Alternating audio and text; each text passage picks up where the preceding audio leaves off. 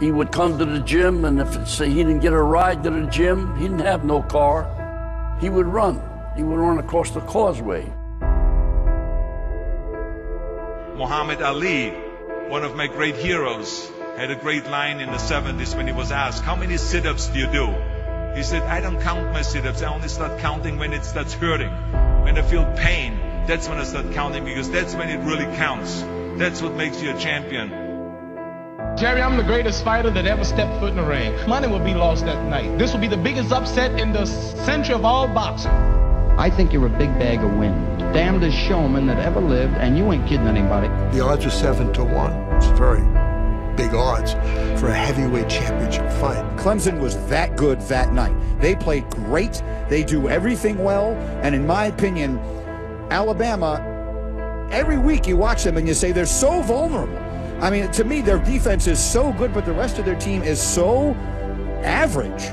I believe that Clemson is the team that can do it. I'm calling for the upset. I like Clemson to beat Alabama next Monday night. It has to be Liston. Liston is a much bigger puncher. Where all these big mouth people talking about I talk too much, well, I want all of them to be there, and I'm going to shut up all of his mouth. Who knocks out everybody and no one can whoop him.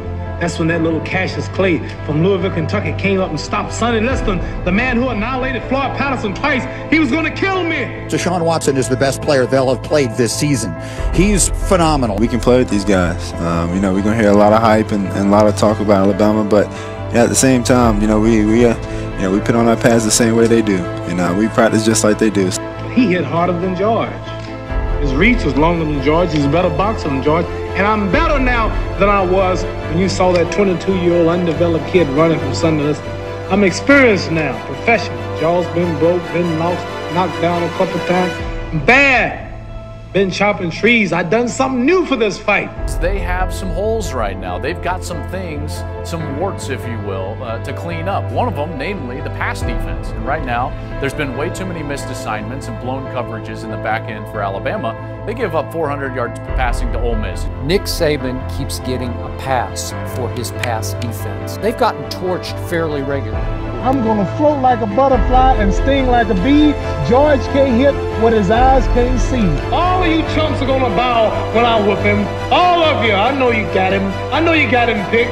But the man's in trouble. I'm going to show you how great I am. Bluffed him. I done everything. Beat him up basically for about five or six rounds. I thought it was easy. Then about the sixth round, he whispered in my ear after I'd hit him in the side, That all you got, George? Never talk about who's gonna stop me. Well, ain't nobody gonna stop me. I must be the greatest. I shook up the world. I shook up the world. I told you, all of my critics, that I was the greatest of all time. He who is not courageous enough to take risks will accomplish nothing in life.